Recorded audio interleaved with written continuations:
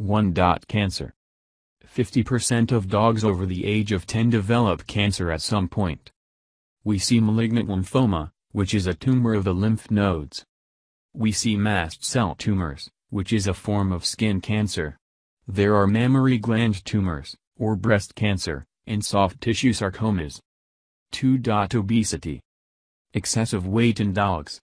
Obesity is a nutritional disease, which is defined by an excess of body fat.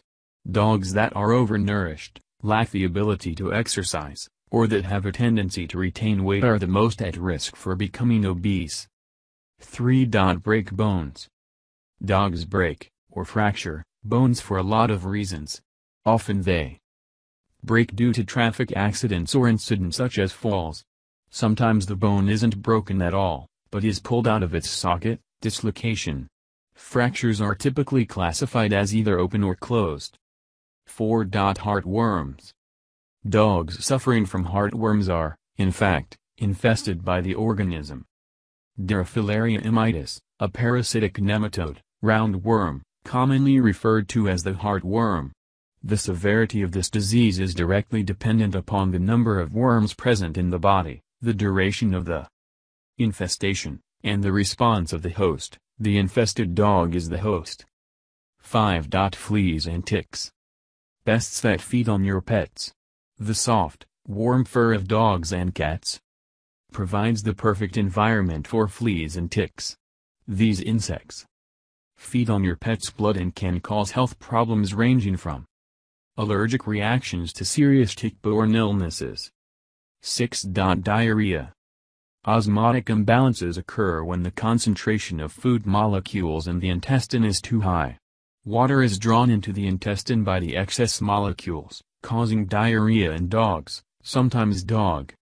Diarrhea can be from a combination of these causes.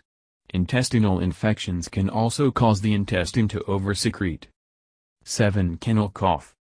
Infectious tracheobronchitis, commonly known as kennel cough, is a canine respiratory infection caused by Bordetella bronchiseptica and canine parainfluenza virus. These pathogens attack the ciliary lining, the respiratory tract and cause inflammation of the upper airway. Kennel cough is very contagious. 8. Ear infections. Ear infections in dogs are common and most dogs suffer from this painful condition sometime in their life. Scratching and rubbing at the ears and head shaking are common signs. Most ear infections in adults are caused by bacteria and yeast, though ear mites are a common cause in puppies. 9. Arthritis Arthritis simply means inflammation of the joints and is a common problem for many dogs. In dogs with arthritis, cartilage within the joint undergoes change or damage, becoming less smooth and resulting in the bone surfaces rubbing together. This causes discomfort to your dog, as well as further damage to cartilage.